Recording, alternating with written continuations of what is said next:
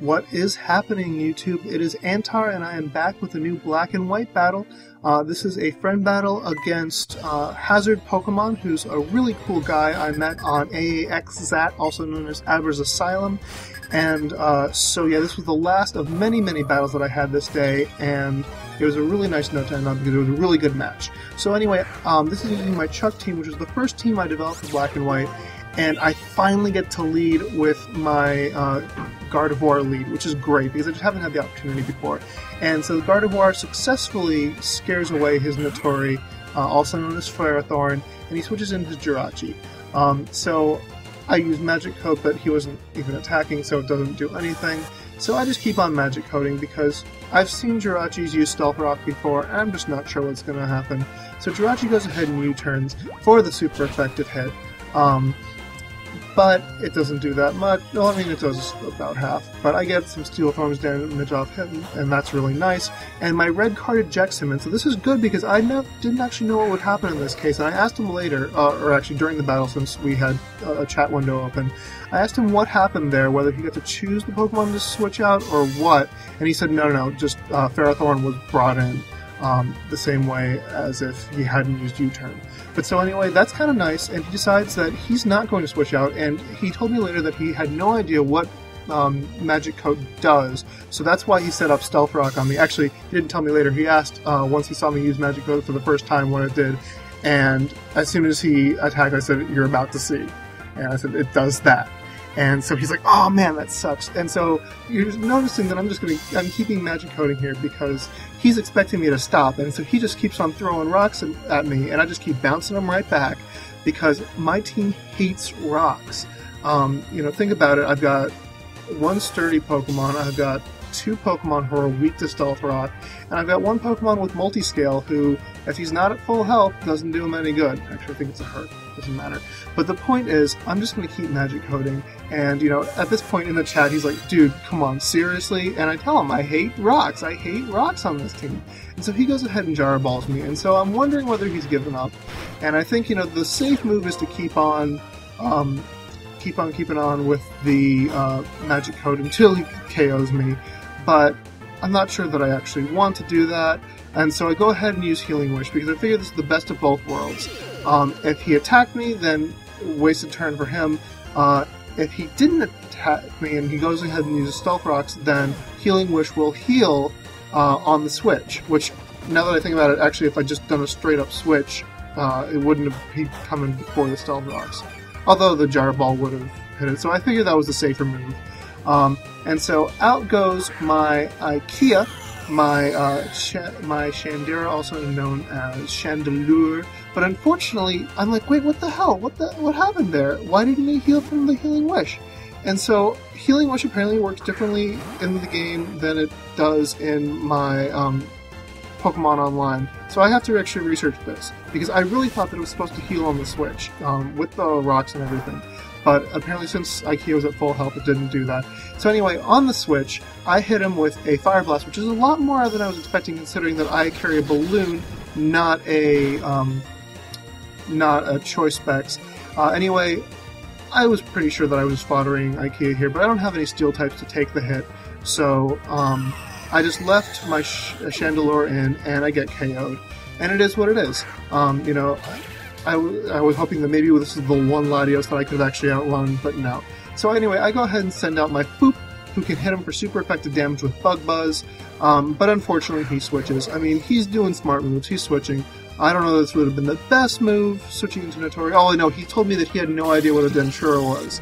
Um, he said that this is his, this is like his first battle since coming back to the scene and doing black and white battles.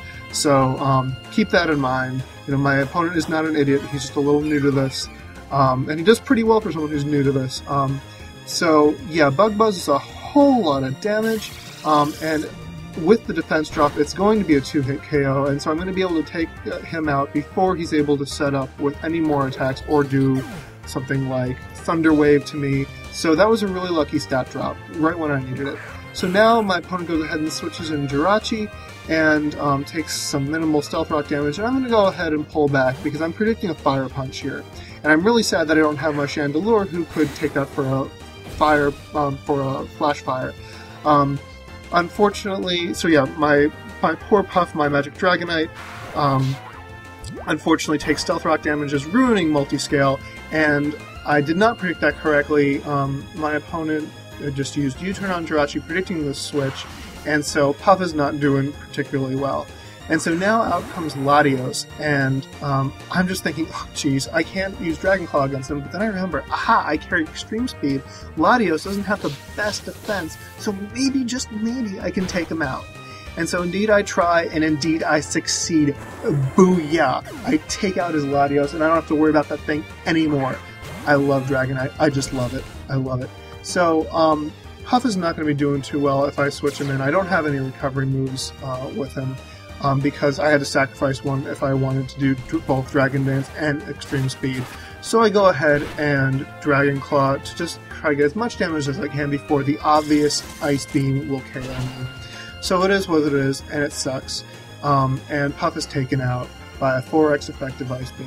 So, but Puff did really well, took out the dragon, and that's its purpose on the team. Puff is there as a dragon killer. So that is freaking awesome. So anyway, I go ahead and send Foompa Pack out, um, because I can just thunder this thing to death. Uh, I hope, although my health is getting pretty low, I don't think I can afford to switch anymore. Um, and of course, my opponent predicts the thunder and goes ahead and switches into his special wall, Snorlax. And it's like, what, a, what the hell am I going to do against a Snorlax? Um, but I'm going to try. I'm going to try. I go ahead and use Thunder, um, which does, it looks like it's going to be enough for a three hit KO. And, uh, yeah. So I'm just hoping I can kill this thing before it, you know, rests or what have you. So I go ahead and use Thunder again. Um, and I, as you're about to see, I'm going to get a bit of lucky parahacks here. I'm going to get the paralysis, but it's not going to do me any good because, you know, it's a cursing Snorlax. I mean, what, you know, the only thing I can hope for is the 1 in 4 chance that um, he'll be too paralyzed to move. So that's what I'm hoping for at this point, um, because, you know, it, it's not like Snorlax is speedy or anything. Um, but I'm really, really hoping, based on the damage, it looks like I just might be able to 3 hit KO. Of course, my poop right now is at very low HP. Um, sorry, it's Galvantula, not Denchura, as I called it earlier. Um, so anyway, I thunder it again, and I'm hoping that it'll be enough, and unfortunately it's not. Snorlax survives with just enough HP to get a rest up, and I have 4 HP left, so on the next turn, when um, it's time for me to attack, Life Orb damage is going to kill me. And that sucks. Um, nothing I can do really. Um, but yeah, Snorlax is now back to full health. It's gotten a curse off, and I don't know what I'm gonna do against this guy because he's gonna be just unstoppable. Um, so yeah, Thunder does not do that much. Um, yeah, now I can definitely see that it's not a three-hit KO. Um, but you know, it must have just been a case of the first attack got max damage, and maybe that time got min damage. I don't know. Um, yeah, it seems to me like the damage range is a lot larger in uh, level 100 battles than it is in level 50, like it was back in the PBR days. So anyway, I go ahead and switch in my fighting type, and I'm gonna go ahead and high jump kick, and just hope that I can take this thing out before it wakes up. Although I don't really have much luck because Snorlax has gotten off a curse. Although, wait, hey, look, look, I KO'd it. I really couldn't believe that this happened. I actually KO'd it, so that's totally awesome. Although I'm down to two Pokemon, and he's got a whole bunch left. And so I really don't know what. I, I, I figure this battle's over. I'm sending him good game in the chat. I do not think I'm going to win. So I go ahead and high jump kick, which is not enough to KO, although it does a lot more than I thought. And he goes ahead and Iron Heads me, and I'm figuring this is probably going to be an OHKO because I'm pretty sure River, which is the name of my Manshao, Mineshao, I don't know. Um, I'm hope uh, you know it's not very good defensively. Anyway, I get a useless crit on the next turn. I actually survive his attack, and so I'm doing pretty well. And so now he's down to his Suicune and one other Pokemon, um, which I know is coming, uh, and I have no idea. It's a Terrakion, and I have no idea how I'm going to kill it. Um, but I go ahead and high jump kick this Suicune, and it's not enough to take me out, of course. And so he's going to be able to take me out with a Surf and that is that. And now I'm down to my last Pokemon, which if you've seen this team before in action, you know what that last Pokemon is, and you know that it's gotten out of some tough spots before. So, um, next out for me is my Abagoura, also known, now known in English as Carracosta, and, but it doesn't have Sturdy. So, if Surf OHKOs me, I have no defense. you know, I, no, I have no defense from Noko. Um, so he goes ahead and surfs, and I'm just hoping I survive. And indeed I do, because HCHB, that's the name of my Carracosta, has pretty darn good defenses. So I get off the shell break, and now I'm going to be faster than him, and now I'm at plus two on all my attacking stats.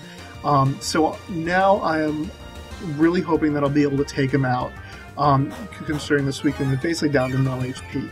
Um, so I'm just hoping and praying here that I'll be able to take take it out. Now I consider whether I want to do Rock Slide or Earthquake, um, and I decided to go for Earthquake because it's got 100% accuracy, even though I sacrifice a bit of power thanks to the fact that uh, HCHB is rock type. So I do manage to take him out because it was at pretty low HP, and I had the plus one attack or plus two attack boost. Sorry, and so now he's down to his last Pokemon as well, which is Terrakion. And I don't think Terrakion has any priority moves, and I think I should be able to outspeed it. And Earthquake is super effective, so I'm hoping this is going to be a one-hit KO, but I just don't know. I just really don't know. Um, and so here it comes. Here it comes. I'm holding my breath, and yes, yes. I KO this freaking.